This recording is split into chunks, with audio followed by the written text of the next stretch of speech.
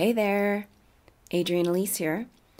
Welcome to the Gaia Daily for June 29th through July 1st, 2020. How are you doing? Wow. Well, Venus is coming out of the depths of its retrograde, and we're starting to come out of the fog of the confusion of this Venus retrograde, just figuring it out. Uh, and also finding more confusion as we try to move forward and the issues of all the that we were working on subconsciously during the retrograde are all coming to the surface. Namely where your life doesn't fit who you thought you were or who you think you are or what you thought you wanted and you have no idea who you are or what you want if that resonates, then you're doing it right. And this is the reason why. The astrology is in an epic lining up for us right now.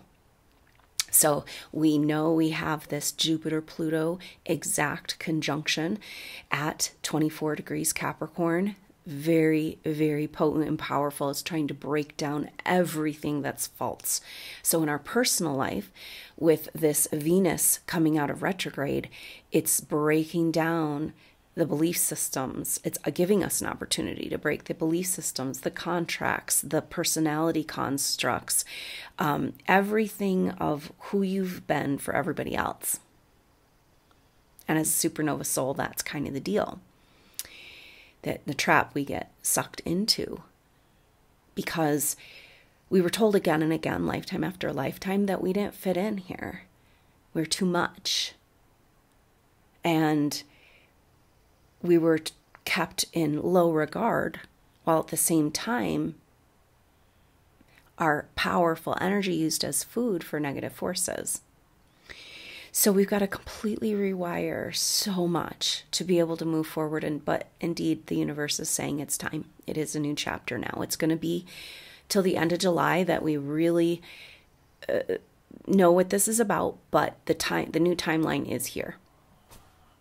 And now we've got to examine everything that's in the way of us stepping on that thing.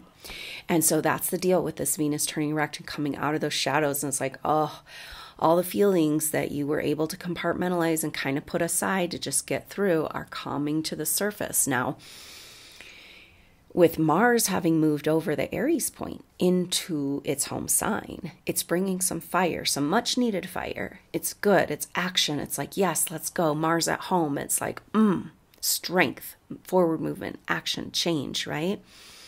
And the change that we need to make has everything to do with Aries because what's happening right now is that Mercury and the Sun are coming together. So Mercury is going backwards in retrograde, apparently, to us, the way it looks, and coming up with the Sun.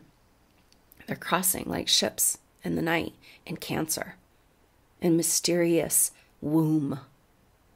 In square to Chiron, in Aries, which is the wounds of where we haven't been able to be who we are. So, doesn't it make sense that Jupiter and Pluto are supporting us so nicely, maybe rather dramatically, in breaking down everything that's false? But what if that's what you've based your whole way of just survival and getting through for lifetimes? And then there's this feeling of like total disconnection because everything that you've been clinging to isn't who you are. Because you've only been living a fraction of who you are. That's this pain of the Chiron and Aries. It's like where you've had to squeeze yourself down so small, turn down that light in order to survive. And so this astrology is about with that Mercury Cancer, Mercury Sun in Cancer, square Chiron, Mercury and, and the Sun coming together this identity crisis, thought crisis around nurturing, but also giving us an opportunity to rebirth into who we really are, to take that leap. This this bigger star self of who you are that's trying to land because that's this timeline alignment, that's what this is about. It's trying to land in your life and on the earth except you have no idea because you've been living one little splinter of the truth of who you are. So, this is the purpose of the Venus retrograde, it appears, is to reorient, to completely disorient us so that we like throw up our arms and say, okay, whatever, all those old stories, I'm putting them in a bonfire and I'm just getting rid of all of them. The emptiness, the loss, the disconnection.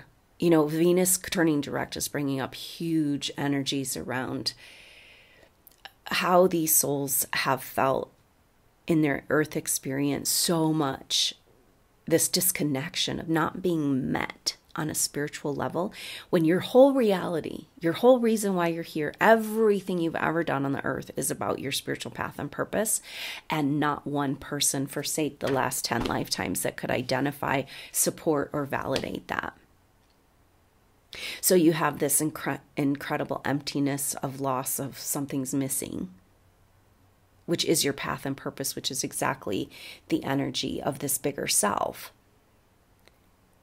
And yet, you know, the disconnection, it's almost a deliberate program with the contractual relationships you've had in your life over lifetimes to keep you feeling disconnected from who you really are. So you can never come back into your power, never come into your path and purpose because you are that powerful. And you are here to lead the way. And can you let everything that's happened and those all these stories that are coming up, blooming up, blooming up in our present life, but clearly connected to past life patterns, can you let it all go and be that nothingness, be the emptiness? And maybe that's what's being asked of us right now, so that we have a space for that bigger star self to land.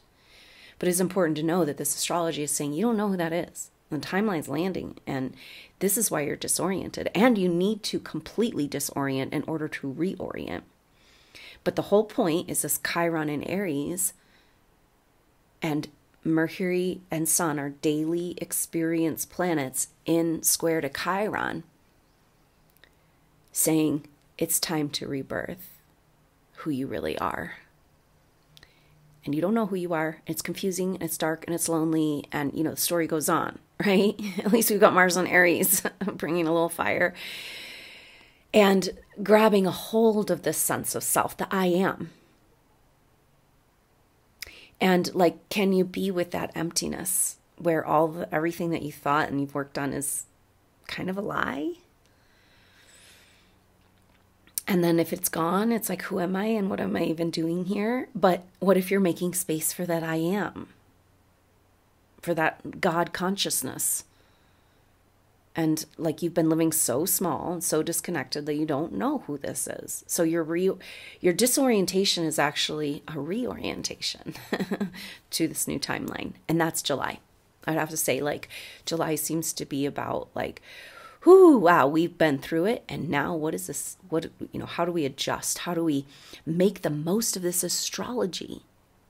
You know, this is powerful. And it's interesting that the Sun and Mercury and Chiron, when they're all exact and conjunction and square, you know, Mercury and the Sun together and square to Chiron is at nine degrees.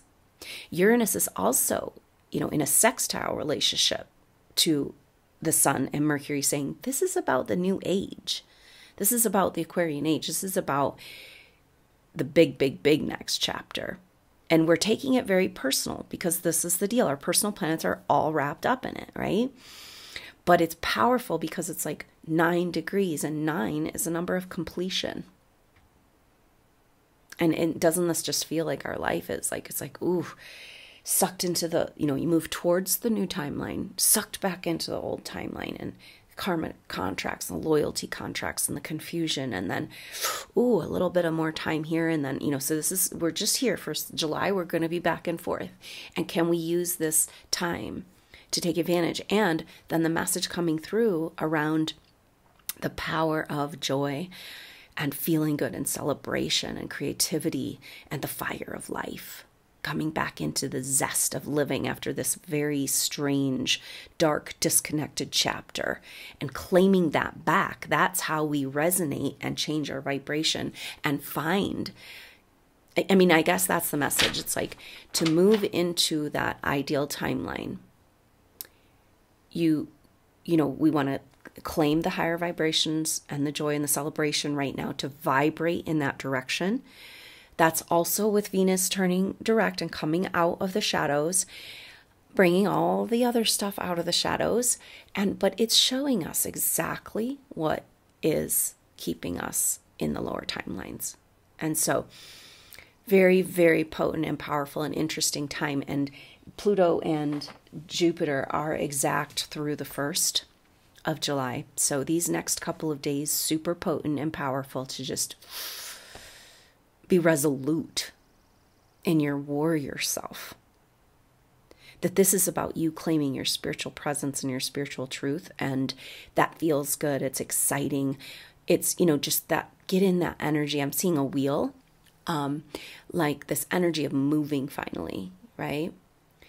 And um, movement brings up stuff and it also shows where I'm kind of seeing a wagon wheel, like where it was a square and then you add a spoke to make a wheel.